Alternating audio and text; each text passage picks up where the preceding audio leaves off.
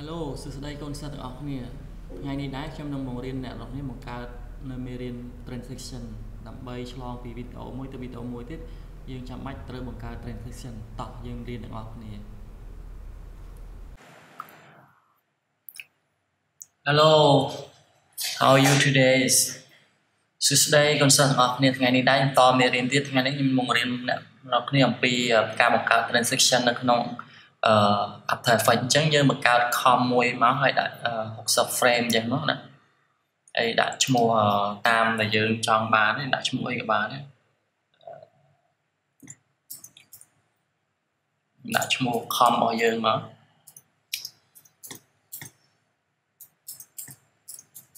transition មានន័យថាយើងចង់ធ្វើឲ្យវីដេអូមួយរបស់យើងឆ្លងពីវគ្គមួយទៅវគ្គមួយហ្នឹងមាន effect នៅចន្លោះហ្នឹងគេឥឡូវយើងយកអានេះមកគូមករង្វង់មូល elip tool នេះគូវាមកគូវាហើយយើងដាក់ពណ៌វាមកពណ៌អីដែលយើងស្រឡាញ់ហ្នឹង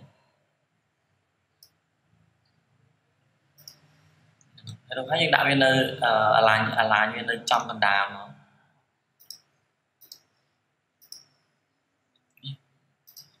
អញដាក់ពណ៌វា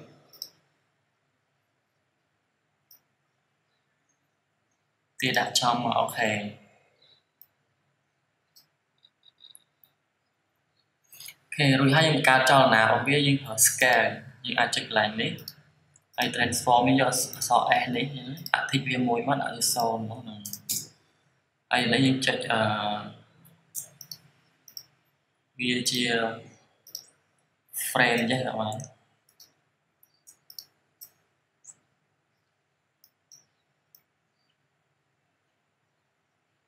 frame ឯងយើងយក10 frame ចុះ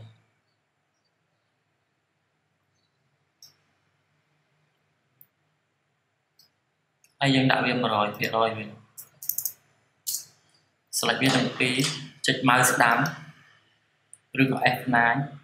យក easy wrap នេះហើយយើង thích កន្លែង move wrap នេះដាក់វាឲ្យរលូន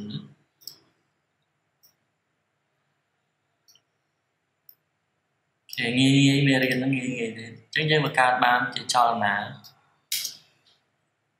នេះគេពេលយើងបង្កើតបានចលនាហើយយើងត្រូវ copy វាច្រើន3 3មកដើម្បីយើងដូរពណ៌វាគេអានេះយើងដាក់ថាពណ៌ដែលយើង red អញ្ចឹងទៅហើយយើងអាចដាក់ពណ៌អីដែលយើងស្រឡាញ់ទៀតយើងចុច control D ឬក៏ command D មកហ្នឹង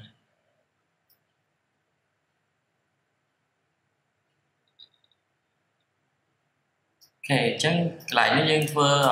វាអត់ទាន់ធំពេញទេឥឡូវយើងស្ដាច់លើកន្លែងនេះឲ្យធំពេញសិនហ្នឹងយើងលុបកន្លែងនេះចោលសិនហ្នឹងម្ដងទៀតអានេះយើងត្រូវធ្វើវាពេញផ្ទៃតែម្ដងចឹងដល់ពេលយើង play មកវា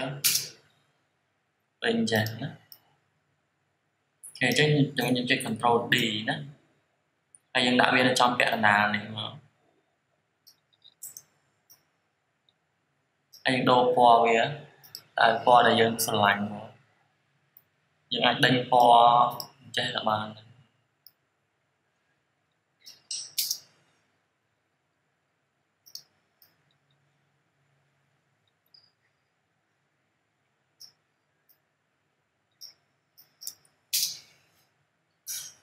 គេយើងដាក់អេវាបន្តិចចឹងទៅគេតមកយើងដាក់មួយទៀតមក comment D ទៀតមកយើងទាញវាមកបន្តិចទៀតនឹងដូរពណ៌វាទៀតដាក់វាពណ៌យើងខ្មៅជាងនឹងបន្តិចទៅហ្នឹងអញ្ចឹងយើងបាន3ពណ៌ហើយអូអញ្ចឹងយើងពេលដែលយើងបាន3ពណ៌ហើយយើង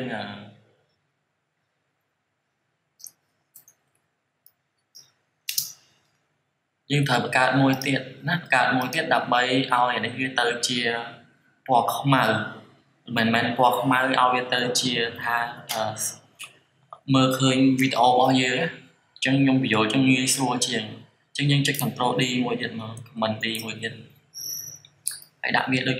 នៅចំប្រវាយដែលយើងចង់បានចឹងដែរប៉ុន្តែកន្លែងហ្នឹងនៅចឹង3នៅខាងក្រោមនេះយើងត្រូវ pre-com វាណាយើងអាចដាក់ឈ្មោះថា Sri color ចឹងទៅហ្នឹង ដាក់ឈ្មោះអីក៏បានអូខេអញ្ចឹងកន្លែងនេះយើងត្រូវឲ្យវាទៅជា invent ចុចចុច invent វាមកគឺចុចនៅចុច mouse ស្ដាំកន្លែងនេះមកណា mode យើងយកពាក្យនេះ alpha inverted mat ហ្នឹង red 4ហ្នឹងដែលឈ្មោះវាណាអញ្ចឹងពេលដែលយើង play មកគឺកន្លែងហ្នឹងវាពណ៌វានឹងយើងឃើញវីដេអូរបស់យើងហើយអញ្ចឹងហ្នឹងរបៀបបង្កើត transaction ហ្នឹងហើយហ្នឹង transaction អូខេអញ្ចឹងមេរៀនហ្នឹងឥឡូវខ្ញុំធ្វើមួយទៀតខ្ញុំបង្កើតមួយម៉ូតទៀតគឺ mode យើងទៅ com ហ្នឹងយក com គេមួយម៉ូតទៀតយើងយកអីមកគូយើងយក solid នេះ use solid solid យើងដាក់ពណ៌អីក៏បានដែរដាក់ពណ៌នេះចឹងហ្នឹងហើយយើងបង្កើត effect មួយឈ្មោះអីគេ ray dia radial មាន radial swipe នេះពីវាដាក់ចូលមកហើយយើងធីកវាមួយដាក់វា100ខេរួចហើយយើងទៅមុខបន្តិចមក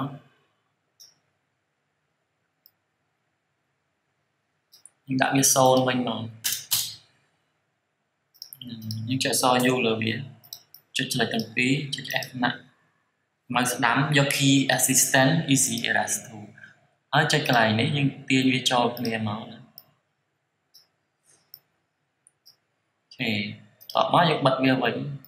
យើងអាចដាក់ blur វាក៏បានដែរហ្នឹងចឹងដល់ពេលដែលយើង play មកនេះណា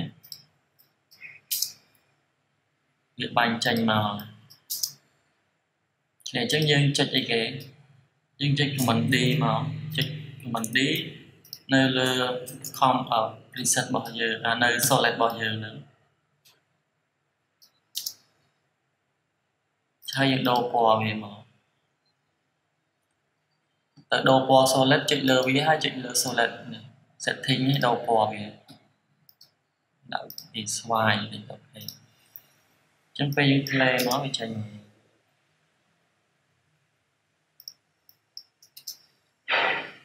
ហ្នឹងហើយយើងអាចឲ្យវា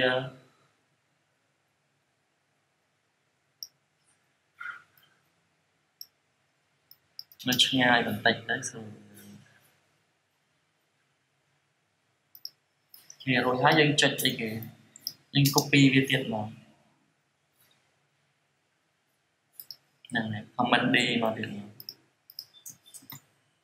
ហើយទាញវាទៅពាក់កណ្ដាលអញ្ចឹងទៀតយើងដូរពណ៌វាទៀត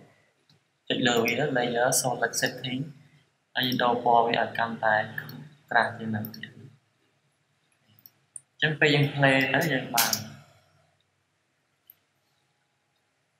អូខេ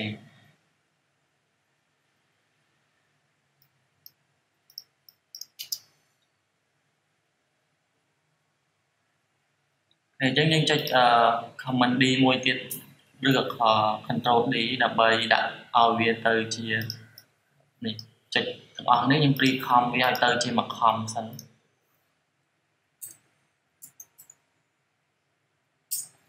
ហើយយើងចុចកន្លែងនឹងដដែលនេះយើងយកឲ្យគេ alpha mat អញ្ចឹងដល់ពេលដែលយើង play មកគឺវាចេញវីដេអូយើងតែម្ដង